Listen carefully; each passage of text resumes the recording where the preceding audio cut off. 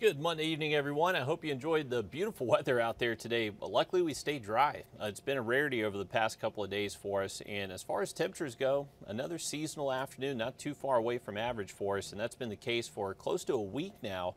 We did have a little warm up Sunday and last Tuesday with those high temps hitting the 90s, but no 90s in sight for the next seven days. So it does look like our temperatures will uh, stay pretty warm again tomorrow. Tomorrow is actually looking like our warmest day for the rest of the week, but no 90s in sight. We are going to stay uh, right where we should be, if not even a little bit below average most days this week. Here's a live view over the Savannah River from our southbound smokehouse camera. Beautiful evening on tap. We're still in the low 80s here just before 8 o'clock, and temperatures are going to stay pretty warm this evening into tonight. We're mostly clear at the moment, and that should continue through at least the first half of tonight. Once we get into daybreak tomorrow morning, we could likely see a few uh, clouds out there with temperatures bottoming out into the low and mid 60s. We do look mostly dry through lunchtime tomorrow, and honestly, even through uh, most of the afternoon. It's not really until we get to past 5 o'clock tomorrow to where those rain chances do look to ramp up across the area. This will be a few hit and miss showers and thunderstorms across the area that show up around sunset, last into early Tuesday night, and then we're back to generally dry conditions by early Wednesday morning. Wednesday, we're still going to have a front around the region. That's going to likely kick up a few more showers and thunderstorms Wednesday afternoon with those highs back at least into the mid 80s. So here's going to be our setup. We're just going to have this front that's going to meander across the two state over the next several afternoons. Whenever you have a front around, it just helps lift up those showers and thunderstorms, especially when you add in some good daytime heating. So that's going to be our setup tomorrow. Uh, remember those rain chances really look to peak as we get closer to sunset Tuesday. Wednesday morning, mostly dry. Wednesday afternoon, scattered showers and thunderstorms. We are going to continue those rain chances Thursday, but what's going to be different Thursday is that our wind direction is going to be changing out of the northeast. So that's going to bring us what we like to call the wedge. It's going to be somewhat of a wedge event for us to where we see cooler than average high temps. We're only hitting highs in the 70s by Thursday. And you can see we'll have some pretty decent rain chances with us as well. So a wet, cool, and cloudy Thursday on tap once we get a little bit later into the week. Here's our rain chances over the next couple of days. So for tomorrow, rain chances really peak once we get after 6 o'clock tomorrow afternoon. Not ruling out that maybe there's a stray shower before that, but it really looks like the majority of our rain chances will be Tuesday evening.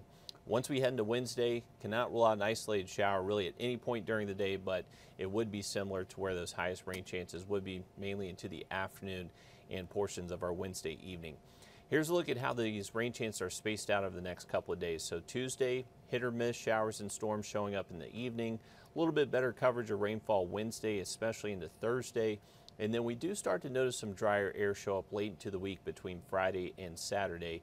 And those temperatures Friday and Saturday don't look too bad whatsoever. Should be very comfortable outside.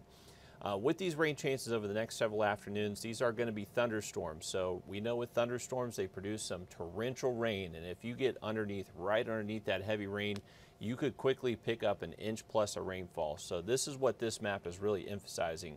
Remember, whenever we show you rain totals like this, don't focus on a specific amount for a specific location. So even though Waynesboro is showing four inches of rain, that's obviously an outlier and just would be kind of that one isolated spot across the area that maybe just sits under a couple of thunderstorms two or three days in a row and just picks up those really heavy rain totals.